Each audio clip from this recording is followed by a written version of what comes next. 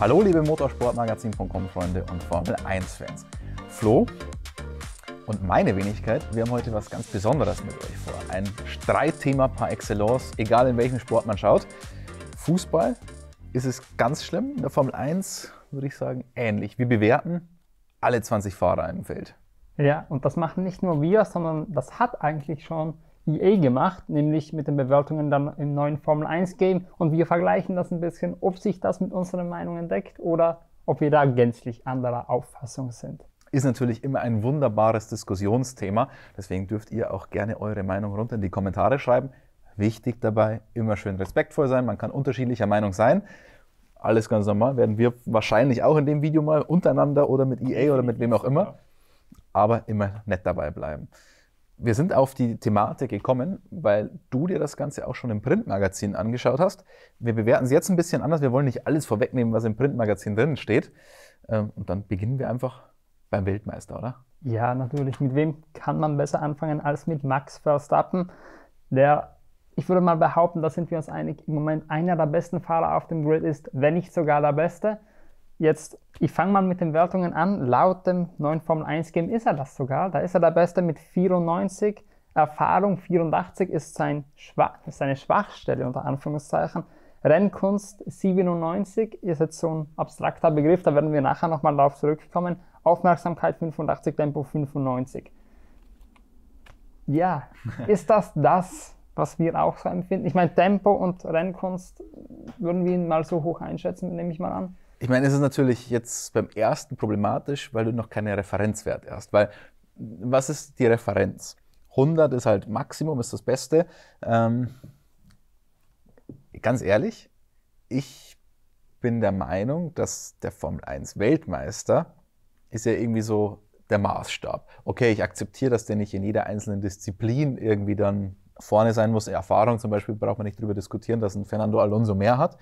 Aber irgendwie ist für mich dann der beste Fahrer der Welt ist für mich irgendwie Maßstab und ist dadurch für mich irgendwie auch irgendwie 100 oder ja, das finde ich ein bisschen schwierig. Denn okay, im Moment kann man sagen, Max Verstappen ist vermutlich der beste Fahrer der Welt. Aber nur weil er Weltmeister ist, heißt das ja nicht immer, dass er auch mit Abstand der beste Fahrer ist. Schauen wir mal in der Vergangenheit ein paar Saisons an, wo doch einige Fahrer Weltmeister werden konnten, ja, obwohl sie im besten Auto saßen. Akzeptiere und ein anderer vielleicht doch schneller war. Akzeptiere ich, aber ich glaube, wir sind uns vor allem durch den Teamkollegen inzwischen bei Max Verstappen einig, dass es nicht nur das Auto ist, ja, weshalb genau. er da so schnell ist. Und Max Verstappen ist da aus der Diskussion raus, würde ich sagen. Die Konstanz, Definitiv. die er an den Tag legt und die Überlegenheit, das alles zusammen, finde ich, macht ihn einfach, ich will nicht sagen unantastbar, das ist ein bisschen zu viel, aber schon, dass ich sage, ja, ich verstehe, dass er bei Erfahrung nicht ganz vorne dabei ist, aber bei Speed,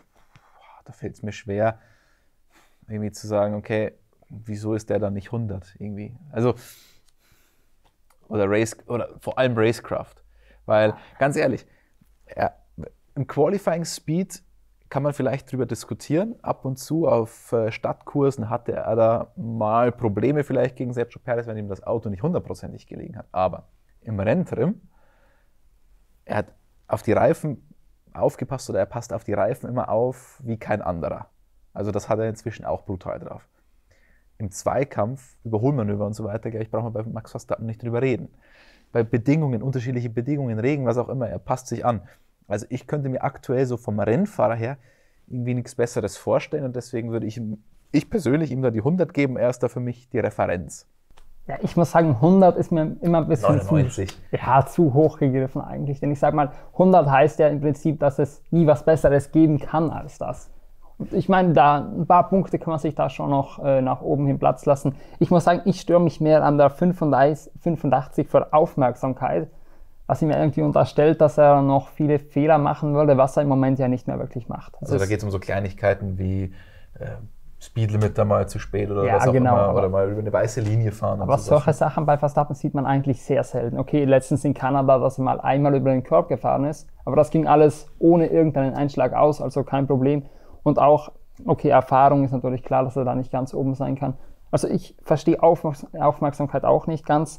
Ich glaube, das ist einfach nur noch so reingedrückt, da halt, damit man das Rating ein bisschen balanciert halten kann und ihn nicht zu überragend bewerten muss. Ist zumindest meine Vermutung. Ich finde auch Verstappen, man kann ihm gar nichts vorhalten im Moment. Ich habe es letztens in der, in, bei den Noten mal reingeschrieben. Perfektion kann manchmal sehr langweilig sein und das ist es genau, was Verstappen im Moment hinkriegt. Er mhm. sitzt im besten Auto und holt es perfekt raus, das, was er rausholen kann. Und ich weiß, dass Max Verstappen eine große Fangemeinde hat, aber auf der anderen Seite auch eine große Hatergemeinde nach all dem, was 2021 passiert ist. Und ja, 2021 konnte man über viele Sachen diskutieren und auch, ob äh, im Zweikampf immer fair war und so weiter, kann man alles darüber diskutieren.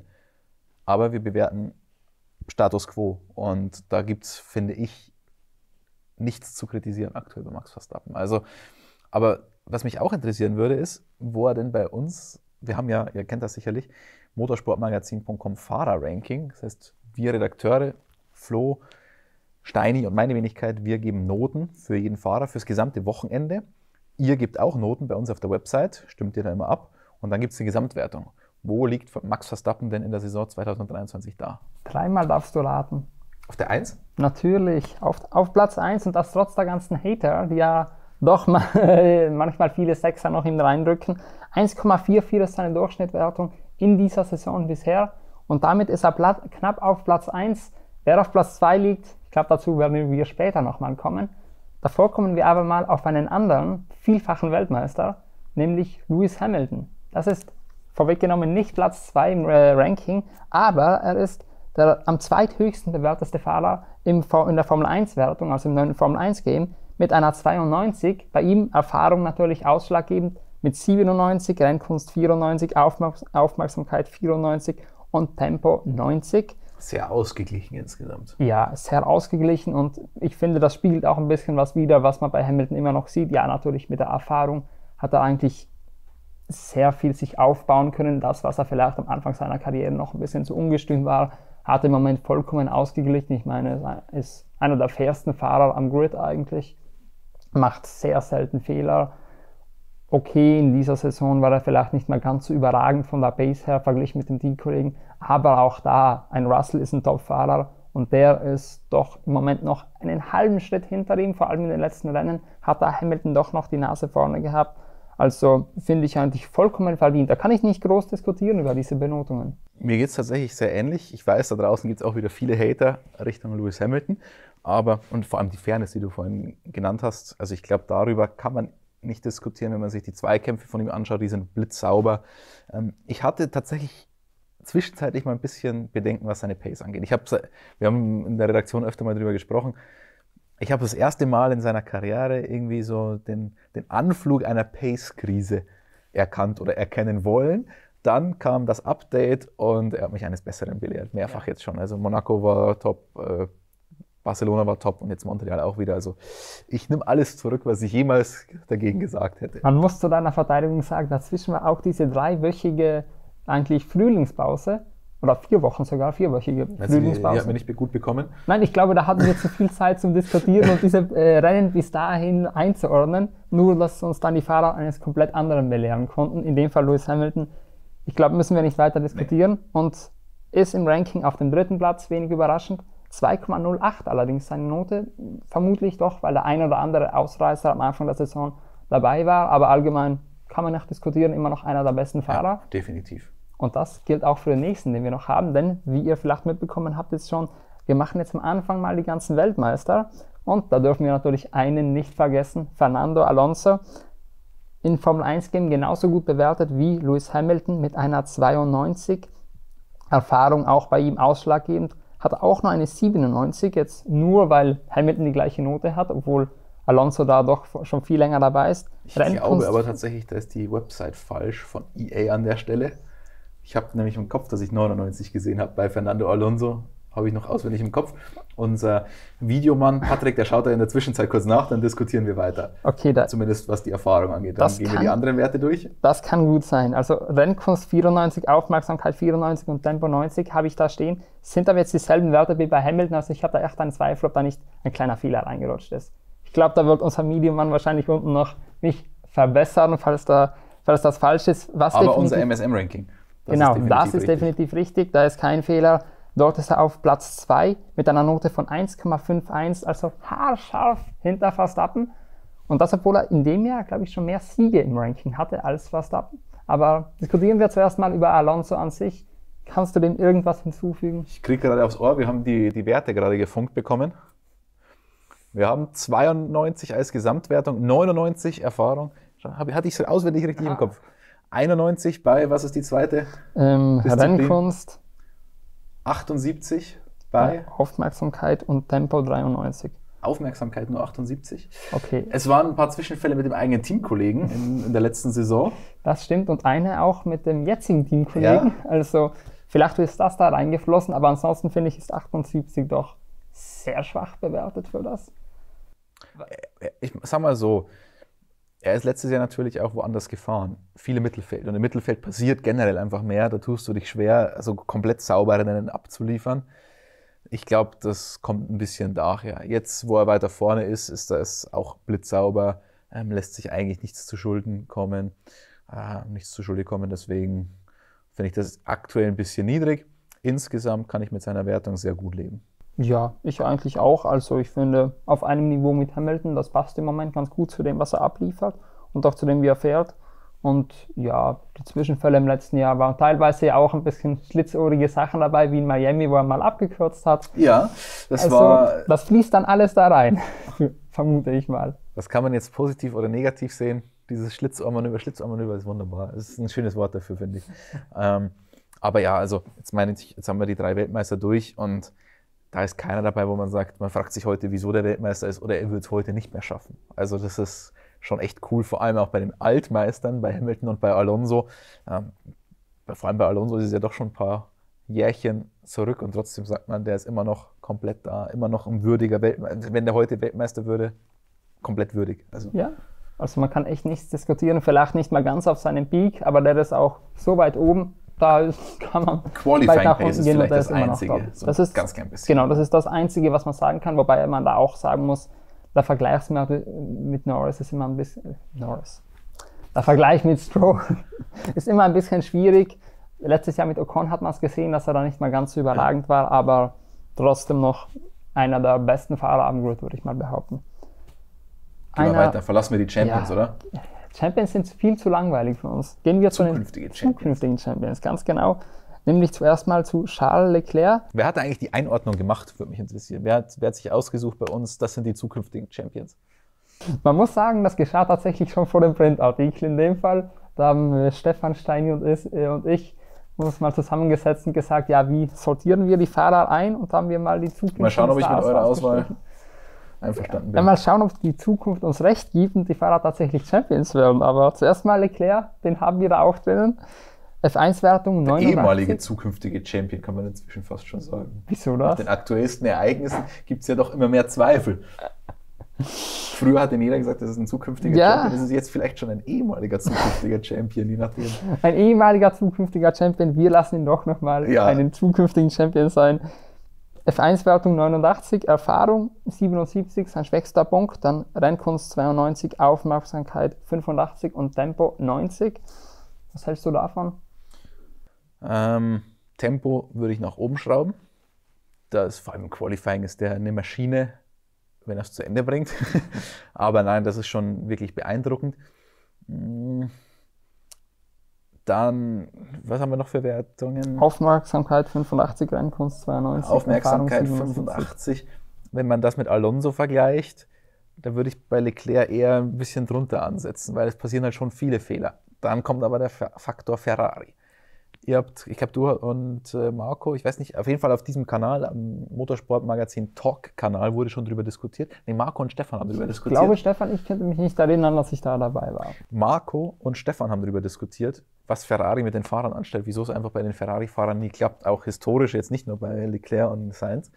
Und den Faktor sehe ich halt dann schon bei Leclerc, dass Ferrari äh, den Leclerc auch schlechter aussehen lässt aktuell, als es ist, als es tatsächlich ist. Deswegen bin ich nach wie vor der Meinung, er ist ein zukünftiger Weltmeister. Er braucht das richtige Umfeld, wie jeder andere Rennfahrer auch, um gut zu sein. Aber es sind natürlich jetzt schon ganz, ganz, ganz entscheidende Jahre für ihn. ob er es bleibt, dieser zukünftige Weltmeister. Ich habe das ja gerade ein bisschen ironisch mit eingeworfen, ehemaliger zukünftiger Weltmeister. Aber ich, ich, finde, das sind jetzt schon entscheidende Jahre. Ob er auch trotz Fehlern und auch wenn das Umfeld mal nicht so ganz toll ist, weiterhin am, am Drücker bleibt und die Fehlerquote ein bisschen runtersenken kann oder ob es jetzt da in eine andere Richtung geht. Also ich sehe den gerade ja so am Scheideweg, aber insgesamt immer noch einen sensationell, sensationell guten Fahrer und zukünftiger Champion kann ich komplett mit leben. Ja, also Qualifying Base, glaube ich, müssen wir gar nicht drüber reden. Ich finde sogar der Beste am Grid im Moment, weil Verstappen hat es dann ein bisschen leichter. Also ich würde sagen, Qualifying kann er Verstappen schlagen, auch im gleichen Auto. Aber die Fehler, ja, kommen nicht von, von ungefähr und vor allem, ich würde da nicht nur den Ferrari-Faktor ausstreichen, denn Ferrari ist nicht schuld, wenn er es in Aserbaidschan in die Wand setzt. Das ist dann sein eigener Fehler. Ferrari ist auch nicht schuld, wenn er in Kanada in Q2 ausscheidet, entgegen vieler Meinungen da draußen, aber man muss auch sagen, das hat er sich selber verbockt, indem er sich in der letzten Kurve am entscheidenden Run verbremst hat. Also das sind so viele kleine Fehler, wo man sagen muss, von einem Verstappen würde, ich, würde man das nicht sehen oder sieht man es ja, einfach aber, nicht. Aber da kommt für mich das Ferrari-Konstrukt wieder rein, weil er, ja, weil er ein bisschen schon konsterniert ist, dass bei Ferrari das nicht so vorwärts geht. Man hört nicht auf ihn, wenn er die Reifen will und dass ihm dann halt noch so ein Fehler unterläuft. Das ist so, das passt in dieses Gesamtkonstrukt Leclerc-Ferrari, finde ich. Ja, aber ich finde, am Ende musst du als Fahrer da trotzdem drüber stehen und in der Lage ja. sein, deine Leistung abzuliefern. Denn ja, man kann auch behaupten jetzt und hat einen guten Punkt damit, wenn man sagt, ja okay, Verstappen muss sich nicht so anstrengen mit dem Auto und dann muss er nicht 110% geben, sondern muss das einfach seine 100% umsetzen, während Leclerc vielleicht doch manchmal nochmal diesen einen Schritt weitergehen muss, um im Qualifying so stark zu sein. Natürlich auch ein gutes Argument, aber trotzdem finde ich solche Fehler, dann muss er auch mal in der Lage sein, sich selber ein bisschen zurückzuschrauben. Da würde ich nicht nur Ferrari jetzt in Kritik nehmen. Also du würdest, also wenn ich das so rauslese, bislang waren wir uns immer einig, bei Leclerc ganz leicht auseinander, du ein bisschen tiefer, ich ein bisschen höher. Ja, das würde ich. Bin mal gespannt, was du da schreibst. Ich verrate es noch nicht, aber ich bin mal gespannt, was ihr da so geschrieben habt. Aber ich glaube, Leclerc war nicht mein Aufgabengebiet, wenn okay. ich es richtig im Kopf habe. Hat Steini dann gemacht. Aber ja. wen haben wir noch auf dem was, Zettel? Was wir noch dazu sagen müssen, im MSM-Ranking ist er auch nicht so gut dabei, Leclerc. Ja gut, die Fehler, die kosten natürlich. Genau, neunter Platz und eine 2,75 als Durchschnittsnote bisher.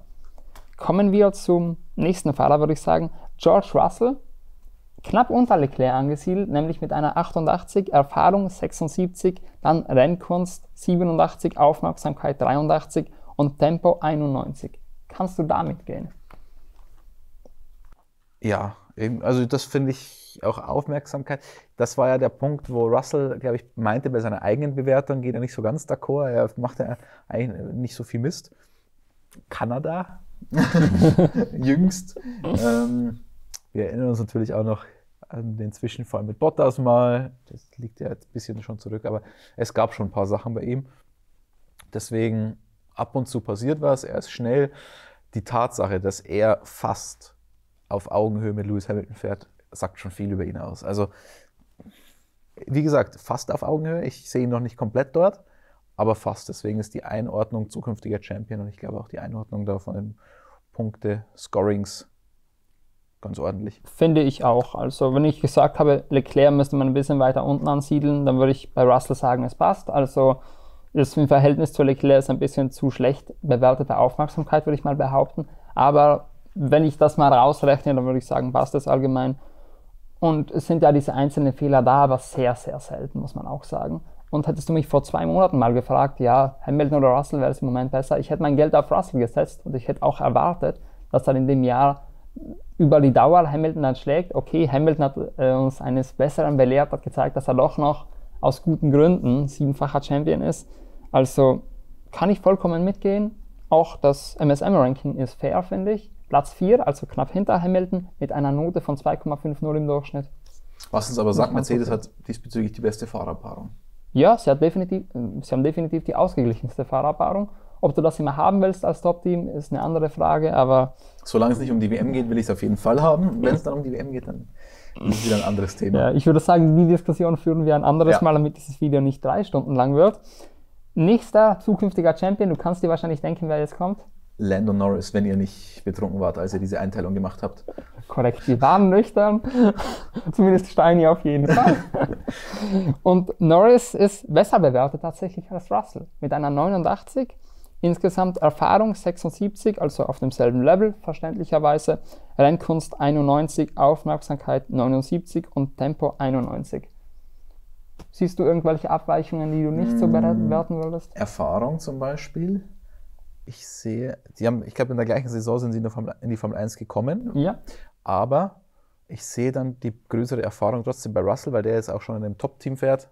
Der hat beides gesehen, hat sich hochgearbeitet, jetzt in einem absoluten Top-Team, auch so ein bisschen von den Junior-Kategorien her ein bisschen präsentere Serien gefahren. Deswegen würde ich bei der Erfahrung, glaube ich, Russell etwas höher einstufen. Ja, ich meine, ich muss zugeben, als ich mir die Noten angeschaut habe, habe ich mich auch da kurz gewundert, aber ich finde, es macht Sinn. Denn okay, Russell fährt jetzt in einem stärkeren Team, aber Norris fährt halt seine gesamte Karriere schon bei McLaren im kompetitiven Mittelfeld.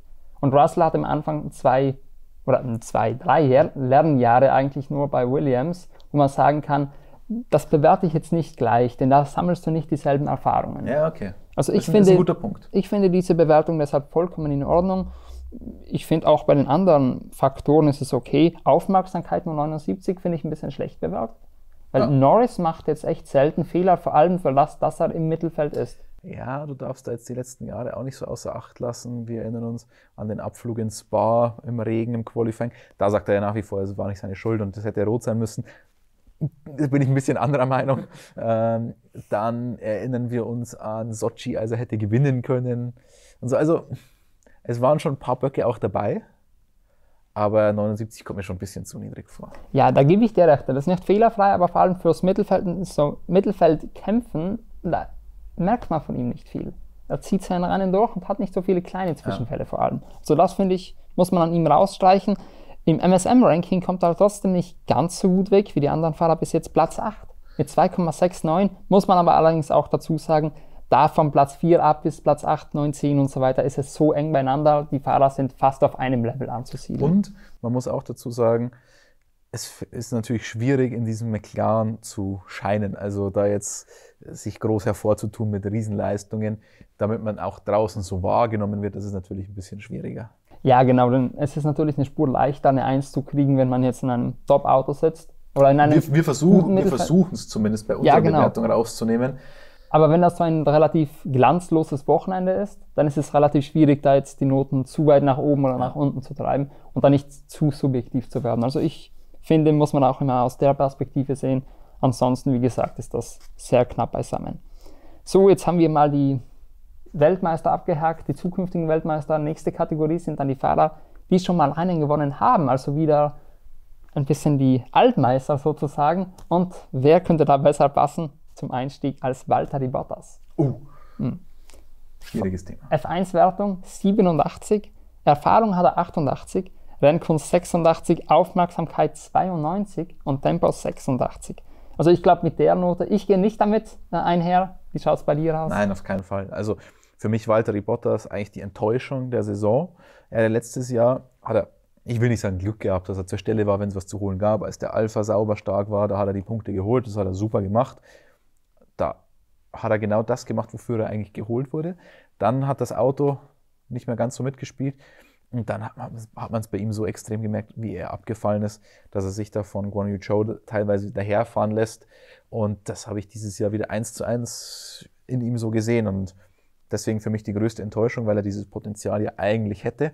Und das zeigt auch so, wenn du das vergleichst, wie gut er als Nummer zwei war. Klar haben sich viele oftmals aufgeregt. Ja, der Hamilton, der gewinnt da Rennen um Rennen und er muss da um Platz 2 in der äh, Fahrer-WM rumkämpfen. Ja, aber bei Perez und Verstappen ist es jetzt sehr ähnlich. Und ein Bottas war da, finde ich, konstanter. Also der hat gezeigt, dass er es eigentlich kann. Aber da würde ich sagen, der ist durch. Der ist einfach durch.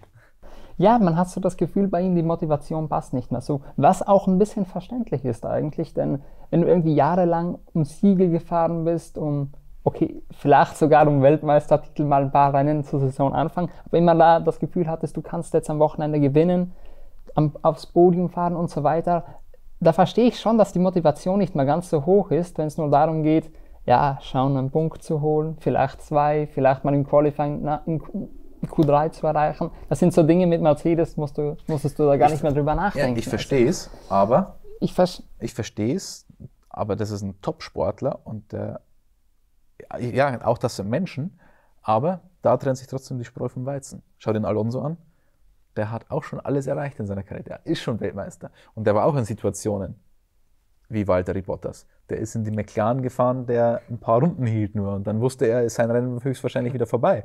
Und trotzdem hat der 110 Prozent gegeben. Und da trennt sich die Spreu vom Weizen und Bottas hat seinen Zenit dann schon überschritten und deswegen für mich aktuell auch nicht mehr Formel 1 tauglich fast. Also tauglich schon, er kann so ein Formel 1 Auto steuern und wenn es was zu holen gibt, ist er auch einigermaßen da, hat er in Kanada auch gezeigt, aber trotzdem insgesamt finde ich einer der ersten Fahrer, die ich wahrscheinlich ersetzen würde im aktuellen Grid. Ja, da, also ich würde sagen, ersetzen würde ich ihn noch nicht, dafür ist er doch noch gut genug, aber ich finde, vielleicht hat er da selbst mal keinen Bock mehr und ich finde die Bewertungen auch sind fünf bis zehn Punkte zu hoch, in jedem einzelnen Punkt eigentlich, außer Erfahrung. Wo liegt er bei uns? Bei uns liegt er sehr weit hinten, muss man sagen, Platz 17 nur, mit einer Durchschnittsnote von 3,25. Also da finde ich, ist er deutlich fairer bewertet als im Formel 1 Game. So, ja, die Motorsportmagazinleser sind halt kompetent. Ob das beim nächsten Fahrer auch der Fall ist, dass er bei uns besser bewertet ist, wir werden sehen. Sergio Perez mit einer F1-Wertung von 89 sogar, also zum Vergleich besser als Russell beispielsweise. Erfahrung 91, Rennkunst 93, Aufmerksamkeit 86, Tempo 87. Was sagst du dazu? Hm. Das finde ich ein schwieriges Thema weil die Messlatte halt einfach brutal ist. Und für mich ist er einfach jetzt auch die perfekte Nummer zwei. Den absolut dann zu vergleichen. Ich tue mich schwer. Was meinst du? Ja, ich finde es auch echt schwierig, da nur den Verstappen-Vergleich herzunehmen, denn dann hat man das Gefühl, ja, eigentlich müsste er viel schlechter bewertet ja. sein. Aber man muss halt auch sagen, was Verstappen mit seinen vorherigen Teamkollegen angestellt hat da ist man bei Red Bull aus gutem Grund froh, so jemanden zu haben wie Perez. Also man darf ihn nicht zu sehr in die Pfanne hauen, auch wenn seine Leistungen in den letzten Wochen indiskutabel sind, da muss natürlich was Besseres kommen. Aber, Aber wenn wir bei Tempo 87? Tempo 87. Das ist zu ja. hoch, finde ich. Ja, wenn ich es mit den anderen Fahrer, Fahrern vergleiche, finde ich es auch eine Spur zu hoch. Rennkunst Wie viel hatten wir bei Leclerc bei Tempo? Leclerc hatten wir 90, 90. glaube ich. Warte, den Zettel habe ich da natürlich ganz ja, das Ist natürlich, 90, das also, ist natürlich ein Witz. Du ja, kannst nicht Leclerc Tempo 90 und Perez Tempo 87. Das passt nicht. Ich finde auch Rennkunst 93 überbewertet. Denn das war das mit so ein bisschen historisch. So Reifenflüsterer Perez, ein bisschen historisch vielleicht. Ja, genau. Dadurch kann ich es kann erklären. Aber da die Bewertungen ja aus diesem Jahr sein sollen, kann ich nicht ganz mitziehen. Ja, Historisch muss ich sagen, finde ich auch, dass man Perez hoch anrechnen muss, was der mit Mittelfeldteams abgeliefert hat, dass er in einem Racing Point ein Rennen gewonnen hat und so weiter. Also da kann man ihm gar nichts nehmen. Aber ich zitiere Toto Wolf an der Stelle: Yesterday's home runs don't win today's matches. Ganz genau. Ein sehr gutes Zitat, um Perez abzurunden. Und sie gewinnen auch nicht im MSM-Ranking, muss man sagen. Platz 12 im Moment nur 2,84 ist da die Note. Finde ich okay. Ja, finde ich, ist verdient in allen Belangen. Ja, beim nächsten Fahrer, vorweggenommen, da ist das MSM-Ranking eine Spur schlechter sogar. Carlos Sainz. Also jetzt, okay, sorry, zuerst einmal die F1-Wertung, 88 insgesamt, dann 84 Erfahrung, 92 Rennkunst, 81 Aufmerksamkeit und das Tempo liegt bei 87. Ich finde, da gehe ich ziemlich d'accord mit, mit der Formel 1-Wertung. Also er zeigt schon, dass mit ihm ordentlich zu rechnen ist. Leclerc spürt vielleicht auch ein bisschen Druck von der Seite jetzt inzwischen. Deswegen, das kommt wahrscheinlich, oder kurbelt diese Fehlerquote noch ein bisschen an bei Leclerc. Und, das und auch am Ende der letzten Saison war er richtig da und hat Leclerc Dampf gemacht. Er hat selber gesagt, es ist halt ärgerlich, dass er dann da war, als das Auto nicht mehr da war. Ähm, so der umgekehrte Bottas. Aber für mich vielleicht ein bisschen unterschätzt insgesamt in der Formel 1. Ja, ich finde das immer sehr schwierig bei Carlos Sainz zu bewerten, denn er hat immer gefühlt so Jahre oder Monate, in denen er top performt und dann plötzlich geht es über ein paar Monate nicht mehr. Das hatten wir letztes Jahr am Anfang, plötzlich lief gar nichts mehr und dieses Jahr ist er irgendwo dazwischen drin, finde ich. Also man sieht eindeutig, dass er nicht Leclerc-Niveau hat, ja. aber er hat dann immer mal wieder sein Rennen, wo er hervorstechen könnte. Dieses Jahr bisher war halt auch nicht so gut von der Fehlerquote her, hat er sich sehr viele Patzer geleistet und Leclerc hat ihn in vielen Fällen auch gebügelt. Also ich finde, es ist verdient, dass er im MSM-Ranking nur auf Platz 15 liegt, mit einer Durchschnittsnote von 3,07. Das finde ich hart. Aber Für dieses Jahr finde ich es okay. Wenn man jetzt die letzten Jahre in Betracht zieht, dann würde man sagen, ja, Science ist besser und er ist vor allem auch besser als das, was er in dem Jahr bisher gezeigt hat. Aber die Saison war noch nicht so viel von ihm. Also wenn ich jetzt mal da aus der Perspektive hingehe und sage, letztes Jahr, vorletztes Jahr und so weiter zählt nichts, es ist nur dieses Jahr die Bewertung, dann würde ich sagen, es sind eigentlich hier drei Punkte auch, oder zwei Punkte, nämlich Rennkunst und Tempo auch zu hoch angesetzt. Ich meine, letztes Jahr hast du kurz angerissen, am Anfang war er nicht da. Das verzeihe ich ihm, weil es komplett neue Gener Regelgeneration war. Die Autos komplett anders zu fahren. Jetzt kannst du sagen, ja gut, ein guter Fahrer stellt sich schnell darauf ein. Aber jeder ist da ein bisschen unterschiedlich und wenn er dann, ich meine, er hat jetzt nicht ewig gebraucht, er hat jetzt nicht drei Saisons gebraucht, um wieder irgendwie in Fahrt zu kommen, sondern eine halbe Saison und dann war er einigermaßen da. Ähm, zeigt, er ist kein absoluter Überflieger, weil ein Überflieger braucht keine Zeit. Ja. Mm, das sieht man bei Verstappen immer. Immer wenn sich die Bedingungen ändern, dann so ist er sofort da. Das ist auch der Punkt. Da sieht man es ja auch, wenn es regnet, dann macht der Seins auch schneller Fehler. Also der Überfahrer ist er nicht, aber ein stocksolider Mittelfeldfahrer das hört sich auch böse an, stocksolider Mittelfeldfahrer. Aber wir reden immer noch von der Formel 1, von der besten Kategorie der Welt. Da ist ein stocksolider Mittelfeldfahrer, ist da ja ein, ein sensationeller Autofahrer. Man muss sagen, es hört sich böse an, weil er nicht im Mittelfeld fährt, sondern theoretisch bei einem Top-Team. Deshalb hört sich es nochmal extra böse an. Ja, aber, aber ich verstehe, was du meinst damit. Wir reden über die Formel 1. Und wenn ich da sage, ein stocksolider Mittelfeldfahrer, dann ist es der zehntbeste Fahrer der Welt vielleicht. Also, ja, hört sich böse an, aber ist nicht so gemeint. Okay, mal schauen, wie böse du bei Esteban Ocon wirst. Der ist als nächstes dran. In der Formel 1, äh, im F1-Game hat er eine Bewertung von 86 insgesamt. Schlechtester Punkt Aufmerksamkeit mit 76, Erfahrung hat er 77, Rennkunst 92 und Tempo 86. Ist ein bisschen unausgewogen, die Wertung, findest du? Hm, ich kann damit leben, um ehrlich zu sein. Die 92 ist mir vielleicht ein bisschen zu hoch zu andere vielleicht ein bisschen zu niedrig. Ja, stimmt, unausgewogen, stimmt schon ein bisschen näher zusammen, die Sachen, aber sonst kann ich gut mit leben. Du? Ja, so, da gebe ich auch noch einen Satz dazu ab, bin ich genau deiner Meinung. Aufmerksamkeit finde ich 76 hat er sich nicht verdient. So viele Fehler macht er eigentlich nicht, auch wenn ab und zu was passiert. Und Rennkunst 92 finde ich auch überzogen, weil für mich ist, zumindest habe ich das aus äh, äh Fußballspielen so in Erinnerung, alles über 90 ist Weltklasse und da finde ich, ist er nicht unbedingt Weltklasse ja. in dem Punkt ich meine, Aufmerksamkeit, wenn es irgendwelche Reibereien gibt, ist er halt schon auch immer mit dabei, auch immer mit den Teamkollegen und so weiter. Also irgendwie ist er dann schon immer mit am Start. Ja, aber er ist halt am Ende der Fahrer, wenn man seine Statistiken anschaut, er bringt doch solide seine Punkte nach Hause. Das weiß auch Fernando Alonso inzwischen. Also, ja doch. Ganz genau. Und wenn er in einem guten Auto sitzt, was in der Vergangenheit in den letzten Saisons nicht immer der Fall war, bringt auch Pierre Gasly seine Punkte gerne nach Hause. Das haben wir. Nicht nur Strafpunkte? Ja, nicht nur die. Die natürlich auch. Aber nicht nur die. Äh, Im F1-Game bringt er das eine Wertung von 85 ein, Erfahrung 78, Rennkunst 89, Aufmerksamkeit 87 und Tempo 85. Gehst du da d'accord damit? Ich muss noch mal ganz kurz, das ging, das ging mir zu schnell, so schnell konnte ich nicht denken. Ähm, Aufmerksamkeit muss er weniger haben als Ocon zum Beispiel. Weil wenn einer nah dran ist, sich diese Rennsperre zu holen für zwölf Strafpunkte, dann ist das eher so unter das Limit von, von der Aufmerksamkeit her. Auch wenn er dann wieder sagt, ja, die Strafpunkte waren unverdient und was auch immer. Ähm, irgendwie schafft das schon immer und er hat ja auch Glück, dass er für Australien nichts bekommen hat. Also da würde ich ihn runterstufen. Bei Gasly ist für mich irgendwie ein Phantom der hatte Rennen im Alpha Tauri, wo ich gesagt habe, wow, und so schade, dass er es bei Red Bull nicht gebracht hat.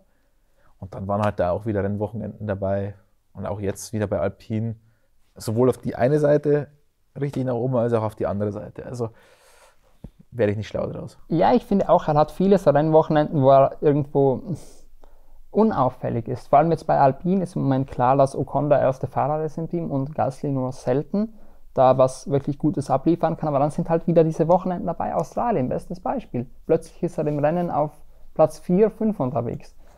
Aber halt insgesamt finde ich, ist die Wertung durchaus verdient. Ja, Rennkunst 89, ich finde, das ist, wie gesagt, auch wie bei Ocon ein bisschen zu hoch angesetzt. Äh, Erfahrung passt eigentlich. Ich finde, ansonsten gehen die Wertungen in Ordnung. Tempo hat er, aber er müsste halt da mal mehr zeigen. Und er ist auch so ein Fahrer, der sich seinen Mittelfeldplatz verdient, aber mehr sehe ich bei ihm ja. nicht. Und mehr sind auch die. Und hat er auch schon bei Red Bull gezeigt. Mehr sind auch unsere User im MSM-Ranking nicht und wir auch, wir sind da ja auch dabei, nämlich 2,9 seine Durchschnittsnote, Platz 13. Weil ich da den Science vor ihm sehe, aber. Ja, aber man muss immer sagen, ist natürlich diese Saison. Ja, und in der Saison finde ich es okay bisher. Kommen wir zum nächsten. Kein Grand Prix-Sieger, nicht einmal ein Podiumsfahrer, Nico Hülkenberg. Nämlich F1-Wertung 80, Erfahrung hat er 86, Rennkunst 79, Aufmerksamkeit 81 und Tempo 80. Da ich weiß, dass Kevin Magnussen ähm, quasi auch bald kommt, und ich seine Wertung auch angeschaut habe, habe ich mir gedacht, damit gehe ich nicht ganz d'accord. Also Hülki hat da relativ schlecht abgeschnitten in diesem Scoreboard von EA. Da sehe ich ihn schon stärker. Jetzt kann man sagen, jetzt haben wir wieder die deutsche Brille drauf, das dürfen wir uns auch beim Ranking gerne und oft anhören. Aber ich finde, da hat er was Besseres verdient. Du bist kein Deutscher. Das heißt, du hast keine deutsche Brille auf. Was sagst du? Ich habe gar keine Brille auf im Moment. Und ich will jetzt nicht Magnussen vorwegnehmen, aber ich finde im Vergleich zu ihm sollte er deutlich Schmeißen besser. Schmeißen wir ihn doch einfach gleich mal rein. Okay. Magnussen insgesamt mit einer Wertung von 81. Also ein Pünktchen besser. Ein Punkt besser. Erfahrung 81, also fünf Punkte äh, darunter. Rennkunst 79, Aufmerksamkeit 85, Tempo 82. Also vor allem Aufmerksamkeit und Tempo.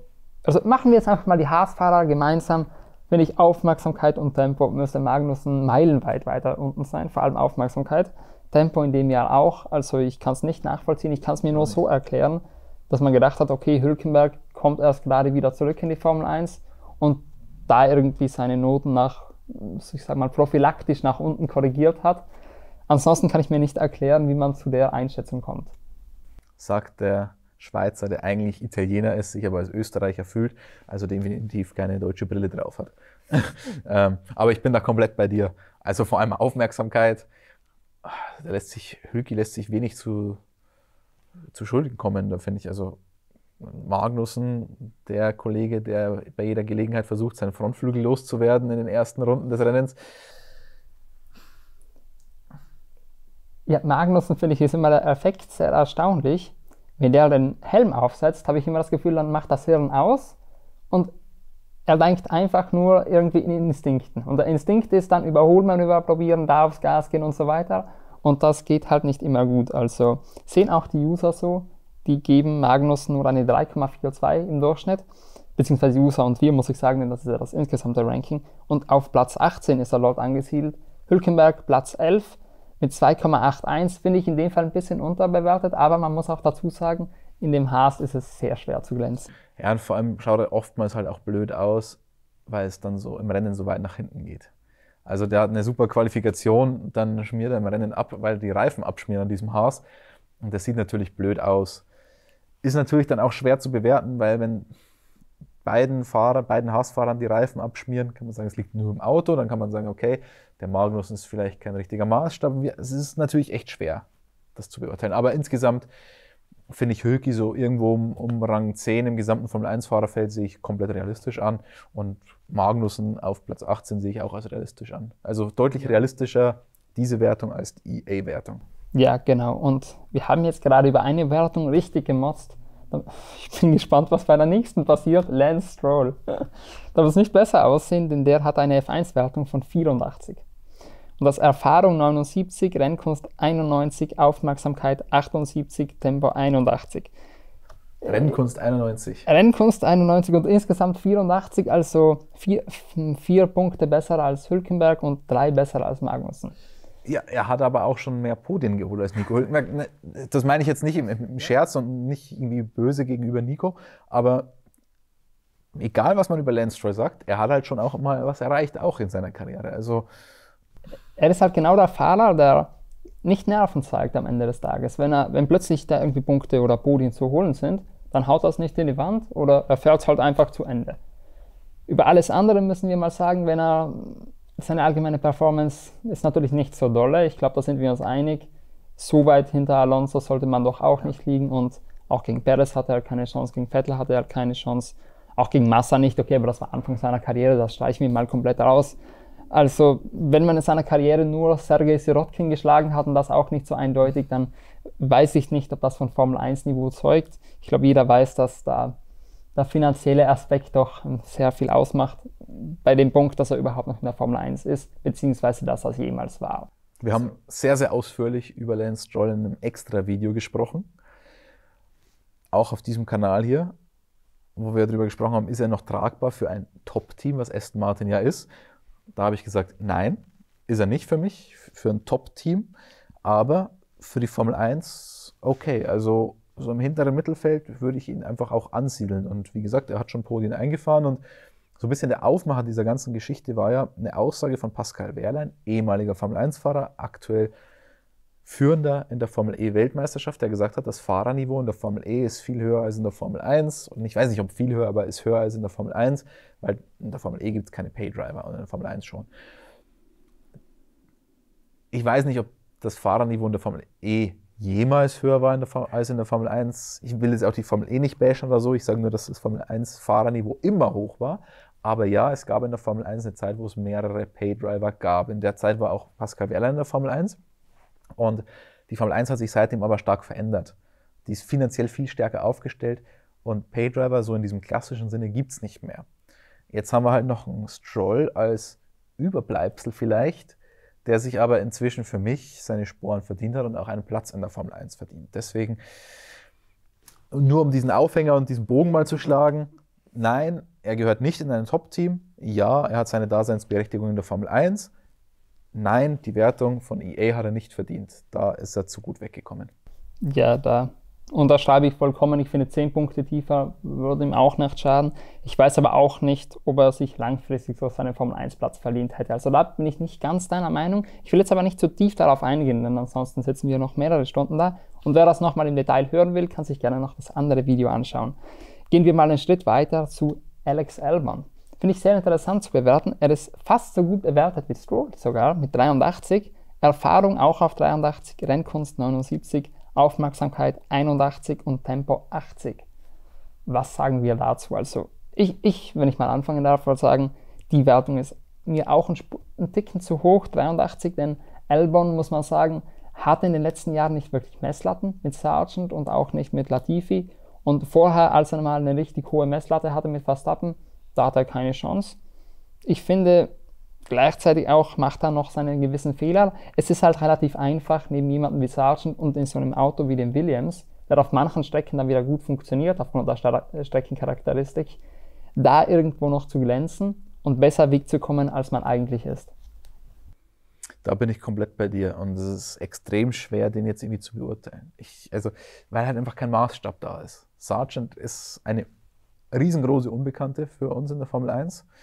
Über den sprechen wir ja auch noch, aber ganz schwer zu beurteilen. Ich würde ihn aber Albon, ich meine, er hat schon echt tolle Rennen auch gezeigt. Da darf man jetzt auch nichts wegnehmen. Jetzt Montreal zum Beispiel, wirklich ein tolles Rennen. Das ganze Wochenende war super. Auch aus ähm, Australien letztes Jahr zum Beispiel. Ich würde ihn ungefähr wahrscheinlich so Hülkenberg-mäßig einstufen aktuell. Also ich hätte gesagt, einen kleinen Ticken darunter, weil Hülkenberg und Magnussen, ja, haben in der Formel 1 schon ihre großen Tage gehabt und schon da wirklich bewiesen, was sie können. Bei Albon bin ich mir da immer unsicher. Magnussen hatte schon große Tage, einen großen Tag. Sein erstes Rennen, aber. Hat er auch mal eine Pole Position. Und letztes Jahr war er, war er nicht schlecht, aber den hatten wir ja schon. Ein anderer, der vielleicht nochmal seine großen Tage haben wird, Yuki Tsunoda. Auch finde ich sehr interessant zu bewerten. In, insgesamt ein Rating von 83 Dadurch, da kommen 69 von der Erfahrung, 79 Racecraft, 75 äh, Awareness, also Aufmerksamkeit und 87 bei der Pace. Ja, was halten wir davon? Ich meine, Awareness wird interessant. Jetzt kommt ja gleich wieder Österreich. Da die Boxen Einfahrt ist ja sein Endgegner. Wie, war das letztes Jahr oder vorletztes Jahr, als er da ich glaube vorletztes Jahr, aber ich kann mich irren. Das ganze, sind so viele. Das ganze Rennwochenende immer über den Strich gefahren ist und danach festgestellt hat, dass man es ja nicht darf eigentlich. Ähm, der schaut ein bisschen unglücklich aus in diesem Jahr. Einerseits, weil das Auto schlecht ist, andererseits, weil er schon so oft auf P11 gelandet ist, aber eigentlich ordentliche Leistungen abgeliefert hat. Spanien hat er mir leid getan. Ich finde, die Strafe war nicht unbedingt nötig, die er da bekommen hat für das Verteidigungsmanöver.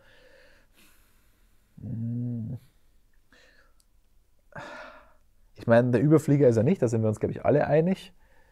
Dass er an der Formel 1 mitfahren kann, zeigt er. Er setzt sich vielleicht von der reinen Pace her jetzt auch nicht genügend ab von De Vries. Also, also ich finde, De Vries macht es schwierig zu bewerten, weil äh, ich weiß nicht, De Vries ist, äh, wir werden später noch auf ihn zurückkommen, der ist auch so eine gespaltene, hat so eine gespaltene Meinung um sich herum. Viel, einige halten sehr viel von ihm, andere nicht so. Und ich finde bei Tsunoda, er hat sich vor allem in dem Jahr doch sehr hervorgetan, bei den Punkten, wo man immer ein Fragezeichen bei ihm hatte. Zum Beispiel hatte er in der Vergangenheit viele Unfälle, viele kleine Fehler und so Dinge, die dann seinem Resümee geschadet haben. In dem Jahr hat er das fast vollkommen ausstellen können. Okay, er hatte kleinere Unfälle, Aserbaidschan erinnere ich mich zum Beispiel, aber allgemein war das eine mehr als solide Saison von ihm wo eigentlich echt schade ist, dass er im Alpha Tauri sitzt und da wirklich nicht mehr als ab und zu mal einen zehnten Platz mitnehmen kann, also dass punktemäßig nicht viel drin ist. Ansonsten finde ich, kann man dem dieses Jahr nicht viel vorwerfen. Nee. Ich finde, wenn man nur dieses Jahr hernimmt, ist er, kommt er einen Ticken zu schlecht weg, was Rennkunst angeht. Aber wenn ich sage, wenn ich die letzten Jahre dann auch noch in Betracht ziehe, muss ich schon sagen, naja, da kann ich es verstehen, dass man ihn nicht höher einschätzt. Aber Gesamtwertung 83 finde ich ist eigentlich gut getroffen. Finde ich es verdient für ihn, vor allem in, dem, in der Saison. Und auch bei uns im Ranking schneidet er gut ab. Platz 6, 2,6. Oh, das ist überraschend. Das überrascht mich, muss ich sagen.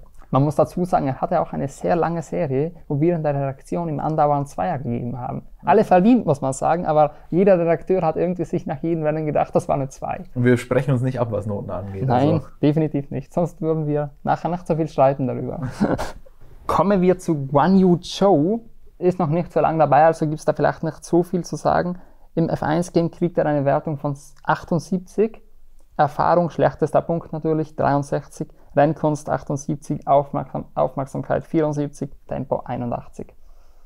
Insgesamt sind wir bei. Insgesamt 78. Finde ich, kommt zu schlecht weg.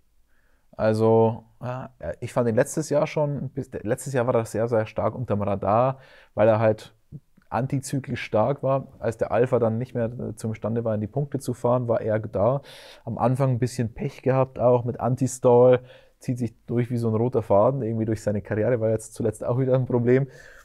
Mm, den würde ich ein bisschen stärker beurteilen, um ehrlich zu sein.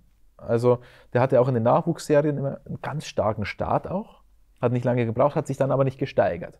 Jetzt finde ich, hat er einen ordentlichen Start und hat sich gesteigert in der Formel 1. Deswegen ich würde ihm schon über 80 geben. Ja, ich finde auch, ich habe es schon mehrfach betont, entweder auf unserer Webseite oder sonst mal hier in Gesprächen, in einem Stream und so weiter, dass Joe für mich eine große Überraschung eigentlich ist. Ich hätte den vor seiner Formel 1-Karriere auf ein Mazepin-Niveau eingeschätzt.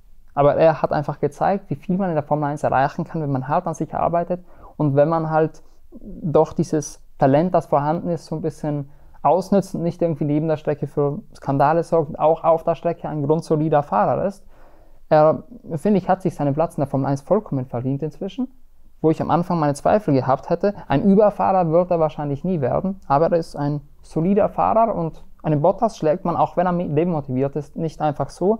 Also ich finde, geht eigentlich alles in Ordnung. Aufmerksamkeit 74 war ich leicht überrascht. Da hätte ich, das hätte ich eher als eine Stärke von ihm ausgemacht, ja, dass er nicht in Unfälle involviert ist. Ich hätte dafür vielleicht das Tempo ein bisschen weiter nach unten geschraubt. Ansonsten finde ich, kann ich mit der Wertung ja, eigentlich leben. Für mich in Barcelona unter anderem, oder was heißt unter anderem, aber für mich einer der Fahrer des, des Tages in Barcelona, das super Rennen dort gefahren.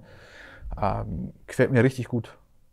Ja. Also, und jetzt kommen wir zu den Fahrern, wo aber, wir. Aber ich bin enttäuscht von dir, dass du ihn ungefähr auf Marzipin-Niveau eingeschätzt hattest vor der Formel 1. Also ja. da kann man jetzt schon mal an deiner Kompetenz 1, zweifeln. Wenn man sich seine Ergebnisse in den Nachwuchsserien anschaut, da kommt er nie viel besser weg als äh, Sven Mazepin. Aber er ist in Saison 1 immer gut gewesen oder immer zumindest ja. ordentlich gewesen. Das war Mazepin nicht unbedingt. Und er hat diese Aussetzer nicht gehabt, die Mazepin hatte. Das stimmt vollkommen, aber von der Base her finde ich, vor der Formel 1-Karriere war das nicht abzuschätzen, dass er so solide sein würde. Aber ich würde sagen, versteifen wir es nicht so sehr darauf. Noch kurz der Vollständigkeit halber im Ranking Platz 14 und eine Note von 3. Das finde ich okay. Kommt mir fast ein bisschen schlecht vor, aber das ist natürlich, wenn du einen Ausreißer hast und so. Ja, und vor allem auch Alfa Romeo. Also ja. schwierig zu beurteilen. Auch schwierig zu beurteilen sind jetzt alle Rookies, die wir deshalb wahrscheinlich relativ kurz abhandeln müssen.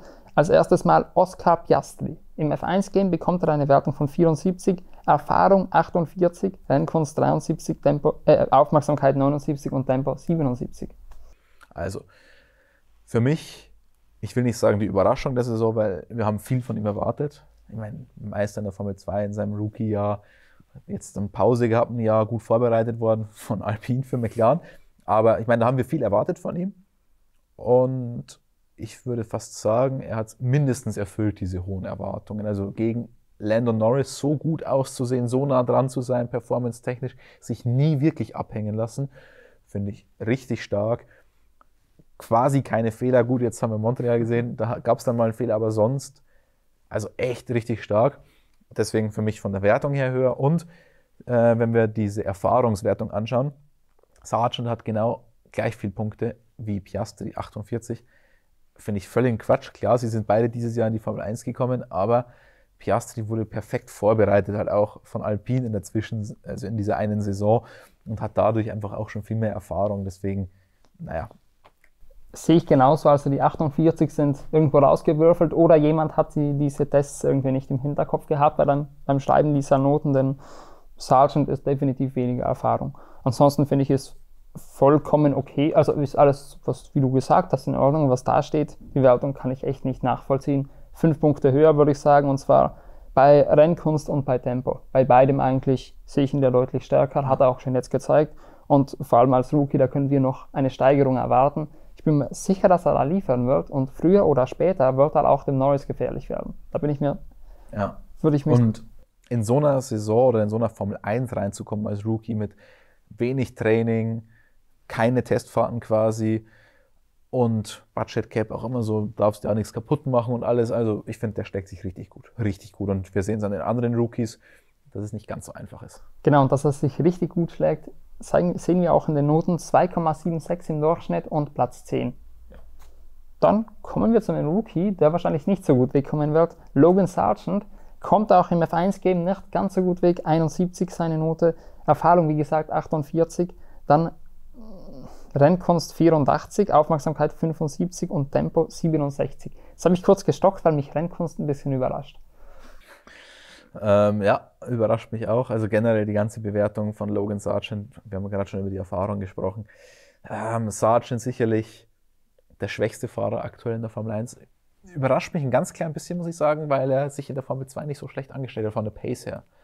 Ähm, Finde ich, hat schon in seiner Rookie-Saison da ordentliche Leistungen gezeigt wundert mich, dass er da jetzt doch so große Probleme in der Formel 1 hat, weil er ist schon meilenweit weg vom eigenen Teamkollegen. Und Albon haben wir gesagt, der macht das ordentlich, aber der ist jetzt kein Verstappen als Benchmark oder so. Also deswegen bin ich da schon negativ überrascht insgesamt. Also ich muss ehrlicherweise sagen, ich habe von dem nicht so viel erwartet, auch nicht nach der Formel 2, denn ich habe das schon länger in der Nachwuchskarriere verfolgt und er hatte diese eine richtig gute Formel 2-Saison. Davor war er in der Formel 3 drei Jahre lang, hatte ja, anständige Saisonen, aber nichts Überragendes, auch teilweise mit gutem Material dann besser abgeliefert, natürlich mit schlechterem Material eine Spur schlechter. Aber ich hatte bei dem nie das Gefühl, dass das einer ist für die Formel 1. Und eine gute Formel 2 Saison macht das meiner Meinung nach nicht ganz wett. Man sieht es auch jetzt, dass eben eine so eine Saison, wo man sagen muss, die hat zehn Rennen, zehn Qualifyings, da hast du mal ein paar richtig gute Tage drin und plötzlich stehst du besser da, als du eigentlich bist vielleicht. Also ich sehe das ein bisschen bei ihm als Faktor und ich glaube auch ohne seine Staatsbürgerschaft und den derzeitigen Hype in den USA wäre er da auch nie reingekommen in das Cockpit. Und ich, es würde mich nicht überraschen, wenn man bei Williams schon langsam darüber nachdenkt, ob da nicht vielleicht wer anderes besser dafür geeignet wäre. Ich hoffe es. Ich hoffe, man gibt ihm noch ein bisschen Zeit, um zumindest zu zeigen, es ist eine Entwicklung da und so. Ich hoffe, dass man ihm da noch ein bisschen Zeit gibt. Aber dann hoffe ich auch, dass man äh, keinen Latifi hat, den man dann Jahre mitschleppt und sich wieder das eigene Grab schaufelt für das Team, weil so ein Fahrer, der zieht das ganze Team auch mit runter. Finanziell bist du eigentlich, solltest du eigentlich nicht mehr darauf angewiesen sein, auf solche Sachen. Deswegen, ja, also ich würde ihm noch ein bisschen Zeit geben, aber nicht mehr viel. Ich finde, diese Saison soll er noch kriegen natürlich. Das wäre unfair, irgendeinen Fahrer, vor allem einen Rookie, während der Saison noch auszutauschen.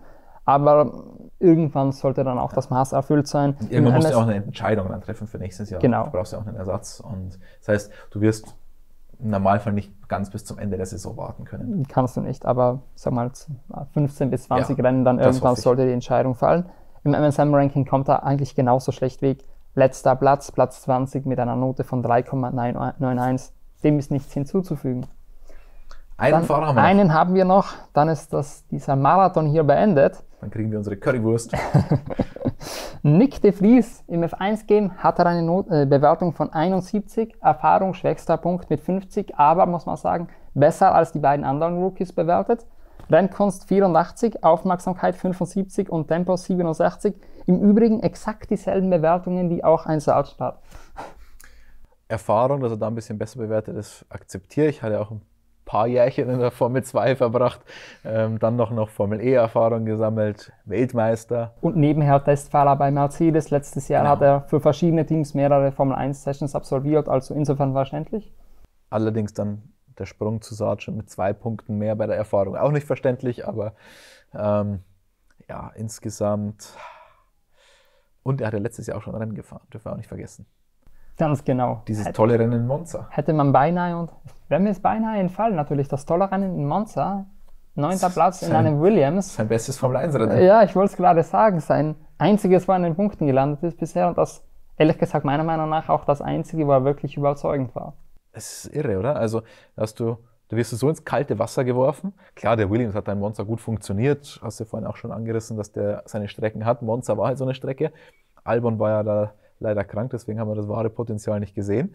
Aber der wird ins kalte Wasser geworfen und performt und holt sich so seinen Formel 1-Sitz. Und dann wird er vorbereitet auf die Formel 1 und ist halt dann eher graues Mittelmaß bis weiter hinten fahrer, fahrerisch.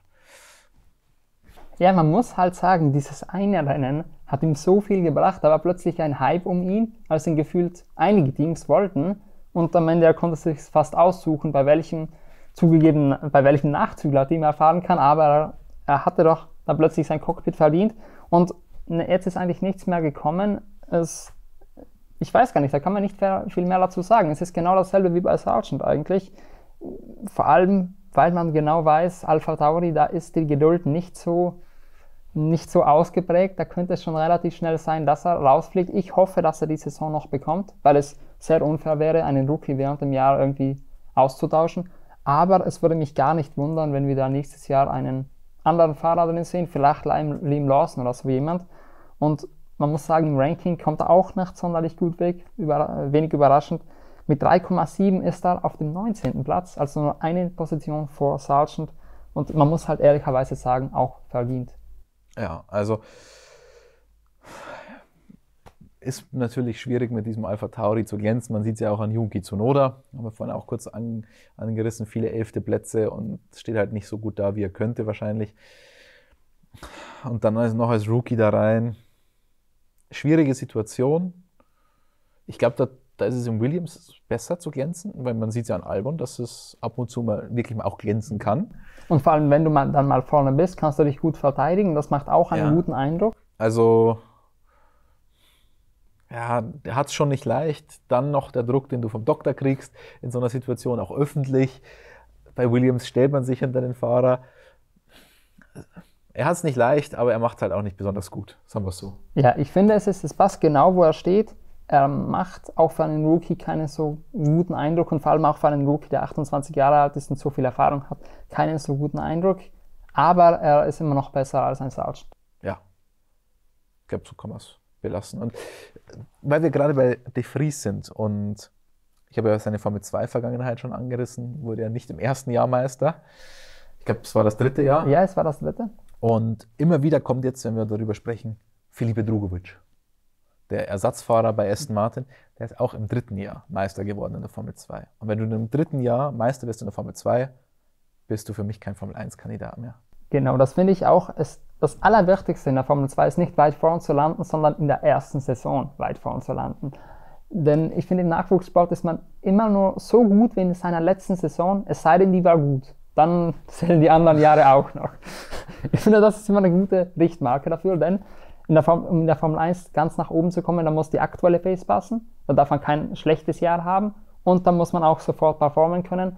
Und bei De Vries hatte ich da immer meine Zweifel, weil das sofort kann, eben wegen seiner Vergangenheit. Im zweiten Jahr musst du in der Formel 2 Meister werden. Genau, spätestens. Oder, oder zumindest richtig gut vorne mitfahren, je nachdem, ja. wie der Jahrgang ist. Aber im dritten Jahr ist es zu spät. Und deswegen sehe ich halt auch bei Drugovic, weil der jetzt immer wieder in den Raum geworfen wird, nein, äh, sehe ich kein Formel 1 Potenzial. Ja, um noch einen Satz loszuwerden, das ist gefühlt auch immer wie bei den Formel E Champions. Jemand wird Formel E Meister und du kannst irgendwie da, was darauf verwetten, dass in den Wochen nachher kommen Diskussionen, warum fährt er nach Formel 1? Und dann ist nächstes Jahr wieder ein anderer Meister und plötzlich weil, weil kommt Formel E-Champion in der Regel schon fünf Formel 1-Saisons gefahren hat, aber eigentlich seine Formel 1-Karriere hinter sich hat. Aber nein, das ist alles was anderes. Ja. Stoffel würde ich trotzdem gerne wieder sehen in der Formel 1. Also irgendwann mal. Aber das ist halt immer für ein anderes ja. Video. Jetzt haben wir viel geredet ähm, ja. Und haben euch hoffentlich auch ein bisschen Lust gemacht auf das Printmagazin. Da gibt es nicht nur eine Bewertung von euch. Also ihr habt das ein bisschen anders bewertet, nicht mit Punktesystem und Noten, sondern ähm, ja, wir haben gesagt, ist er unverzichtbar für die Formel 1 und wie gut steht er da? Ich weiß es nicht mehr im Detail, weil es ein paar Wochen her ist, dass wir das geschrieben haben, aber so ungefähr. Aber es gibt natürlich noch viel mehr da drinnen. Es gibt Chaos Kalender Club. Es gibt ein Interview mit Franz Toast, Abschiedsinterview quasi. Also jede Menge in Ausgabe Nummer 91. Du hast zwar vor ein paar Wochen geschrieben, aber es ist erst jetzt aus der Druckerei gekommen. Es gab, gibt ja auch noch ein paar andere Geschichten drin, die noch warten mussten. Ähm, Wer es noch nicht hat, wir würden uns richtig freuen, wenn ihr euch das auch mal anschaut. Aber nicht nur das, sondern auch unseren Kanal hier. Abonnieren und die Glocke drücken. Genau, denn dieser Kanal steht quasi noch ganz am Anfang der Motorsportmagazin Talk-Kanal. Ihr kennt wahrscheinlich unseren Hauptkanal auf YouTube. Da gibt es Newsvideos, da gibt es Vlog, Vlogs aus dem Fahrerlager. Eher so die kurze, leichte Kost. Hier wird ewig lang diskutiert. Vielleicht seid ihr noch dabei. Wenn ihr noch dabei seid, dann ist es auf jeden Fall der richtige Kanal für euch.